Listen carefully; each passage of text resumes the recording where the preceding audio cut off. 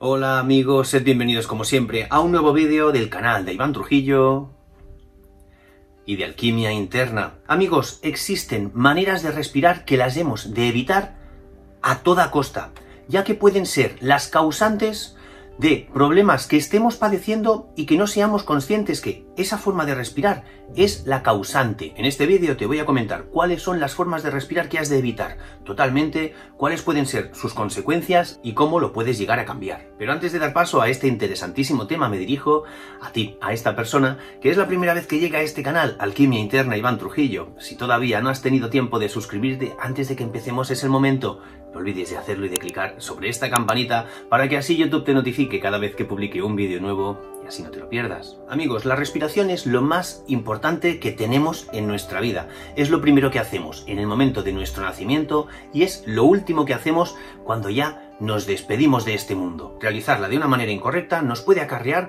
grandes problemas de salud. Y como ya sabéis todos, el órgano para realizar la respiración no es otro que nuestra nariz. El problema está cuando, en lugar de hacerlo por la nariz, lo hacemos de manera habitual por la boca. Es decir, amigos, que lo tenemos que evitar. ¿Cuáles son esos problemas que nos puede traer el respirar habitualmente por la boca? Pues mirad, amigos, empezando por dolores musculares, problemas en la concentración, encontrarse siempre cansado, falta de concentración, de atención, también problemas de memoria. Todo ello debido a la falta de oxígeno a nuestro organismo. Respirar por la boca no aporta al organismo el oxígeno que necesita para hacer de manera correcta sus funciones. Otro problema que puede estar siendo causado sin que lo sepamos por estar respirando por la boca es el dolor de espalda, amigos parece que no tenga ninguna relación, pero tiene muchísima. Al respirar por la boca, como he dicho hace un momento, no estamos aportando el oxígeno necesario para que nuestro cuerpo realice correctamente sus funciones. Ante esta falta de oxígeno, nuestro cuerpo reacciona adoptando posturas para favorecer el poder tomar mayor aire y de esa manera más oxígeno. Pero esas posturas no benefician a nuestra espalda. Lo que consiguen es que se deforme, que nos duela, que tengamos problemas constantemente. Personas alérgicas que, además, respiran por la boca en lugar de hacerlo por la nariz, verán agravadas sus alergias. Y eso es porque nuestra nariz posee unos filtros naturales que, cuando toma el aire, limpia este aire de sustancias que pueden ser nocivas para nuestro cuerpo y así pues suavizar un poquito estas alergias en caso de que se estén padeciendo. Pero nuestra boca no posee estos filtros, por lo tanto no está limpiando el aire y estará agravando estas alergias. Si una persona que habitualmente respira por la boca un día de frío lo sigue haciendo con naturalidad, va a tener muchísimas más probabilidades de tener un problema respiratorio, ya que ese aire frío está entrando sin ningún tipo de impedimento. Este aire frío podrá ser el precursor, pues para los problemas del sistema respiratorio que todos conocemos, tales como la faringitis, laringitis, amigdalitis, bronquitis. Si un día de frío en lugar de respirar por la boca se respira por la nariz, una de las funciones de la nariz es poner el aire a una temperatura adecuada para nuestro sistema respiratorio, es decir, pone el aire a una temperatura templada, a una temperatura que no sea peligroso para nosotros. Si tienes siempre los labios y la boca seca, te cuesta tragar, tienes halitosis, mal aliento o tienes habitualmente problemas en los dientes y las encías, observa la manera en la cual respiras, porque es muy probable que respires por la boca en lugar de por la nariz. Y quizás te estarás preguntando qué tiene que ver eso, Iván.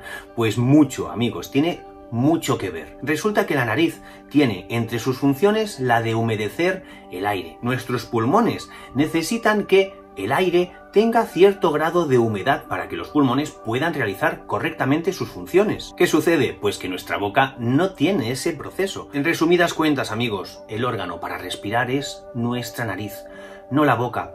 Ya habéis visto los muchos problemas que nos puede acarrear a nuestra salud. Existen excepciones. Por supuesto que existen excepciones, amigos.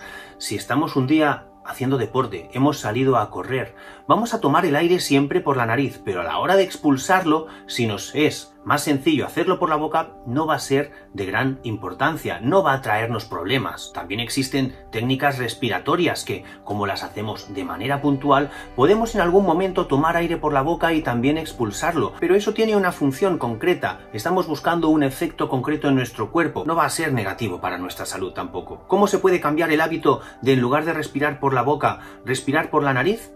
Pues amigos, realizando prácticas de respiración consciente, prácticas como el tai chi, prácticas como el chikun, prácticas como el yoga. Son prácticas ancestrales, milenarias de las tradiciones chinas, hindús. Tanto en este canal como en mi canal secundario Iván Trujillo Life podéis encontrar un gran número de prácticas respiratorias que os van a ayudar a conseguirlo. Si el motivo por el cual respiras por la boca en lugar de hacerlo por la nariz es que tienes pues un problema como rinitis alérgica o tienes quizás el tabique desviado, lo ideal es dirigirse a un especialista para que te dé la mejor solución posible y a partir de solucionado este ya retomar la respiración nasal. Que amigos, ¿conocíais la gran importancia que tiene el respirar por la nariz en lugar de hacerlo por la boca? Ya habéis visto que nos puede traer importantes problemas de salud.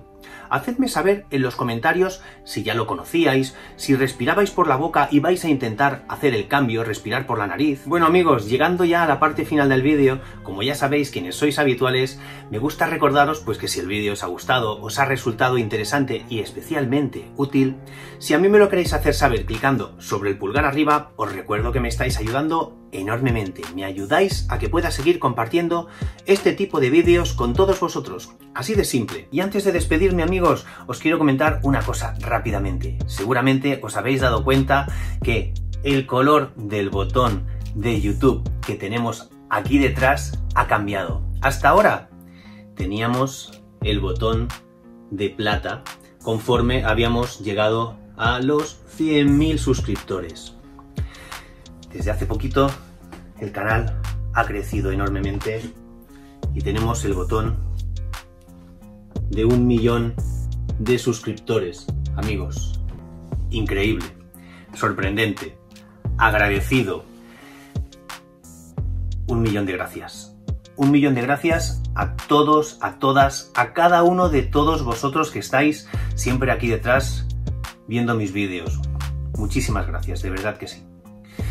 Ahora sí, me despido como siempre, dándoos las gracias de corazón, de corazón más que nunca, por estar al otro lado de esta cámara viendo mis vídeos y que os espero muy pero que muy pronto en un vídeo nuevo, en muchos vídeos nuevos. Vamos a seguir haciendo vídeos. Vienen cosas importantes, amigos. Este nuevo botón de YouTube, esta, este hito de haber llegado al millón de suscriptores, va a traer cambios a positivo a mejor en el canal. Espero que os guste todo lo que se aproxima. Saludos amigos y muchísima salud para todos.